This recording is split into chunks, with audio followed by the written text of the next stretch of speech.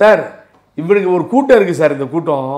இன்னொரு வேதனையோடு சொல்கிறேன் சார் ராஜவேல் சார். இங்கே பாருங்கள் ஜாதின்னு நான்லாம் பேசவே மாட்டேன். ஜாதின்னு பேசவே மாட்டேன் நீங்கள் நீங்கள் எங்கே எங்கே வேணாலும் யாரை வேணாலும் கேளுங்க. அதில் எனக்கு நம்பிக்கை இல்லை. நான் எந்த காலத்துலையும் பேசாதவன் சார். ஆனால் இந்த கட்சியை ரெண்டு ஜாதி ஆளுது சார்.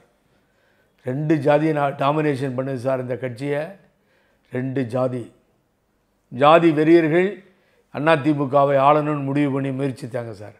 அதனுடைய எதிரொலி தான் நேற்று நடந்தது. இனி நடக்காது சார். சாது மிரண்டால் காது கொள்ளாதுன்னு முதல்ல சொன்னேன் நான். அவரை சாதுவாக பார்த்தாங்க. நேற்று காலையில் வரைக்கும் எனக்கு தெரியும். அவ்வளோதான் ஓபிஎஸ் கதை முடிஞ்சிருச்சு. இன்னையோடு முடிஞ்சது ஓபிஎஸ் கதை. தீர்மானம் போட போகிறாங்க எடுக்க போகிறாங்க வீட்டுக்கு அனுப்ப போகிறாங்க எல்லாமே எடப்பாடி பழனிசாமின்னு தான் ஒரு ஃபோக்கஸை கொண்டு வந்தானுங்க. என்ன நடந்தது? ஓபிஎஸ் எடுத்துட்டார்ல?